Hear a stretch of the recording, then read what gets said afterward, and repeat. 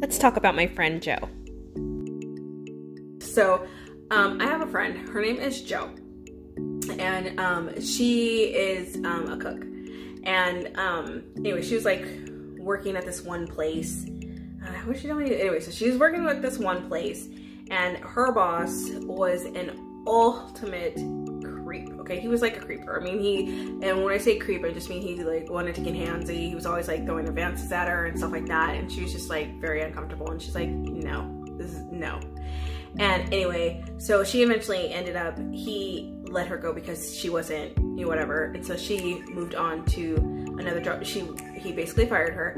And um, then she, because she was like not having any of his stuff, she's like, no, I'm sorry, I'm not interested, whatever. And he's like, huh.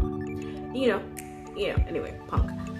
Um, so anyway, so she ended up moving on and um, she ended up actually moving and he still there's no references positive references from him or anything like that so it made it very difficult like he basically he has some friends he like basically blackballed her so people wouldn't hire her in certain areas that she was in so she had to get creative um, she ended up doing um, some of those like um, cooking parties. I don't know if you guys heard about this, but it's like a cooking party from her her home. Like she would have different guests, and they would come for like a home cooked meal because these are people who couldn't either cook or they just wanted to be around other people, and it like helped people to stay connected during everything. So, anyways, so that's what she was doing. But one of those people ended up asking her to be his um, chef. So she ended up becoming like a live-in chef and cooking for him and everything else. But with him, she actually had like the wanted sparks, you know what I mean? And so she's like, oh no, I, ugh, this is so weird because now she's like, should I cross the line or should I like not, you know, whatever.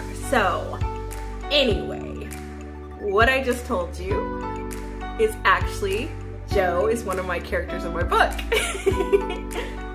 That's pretty cool, right?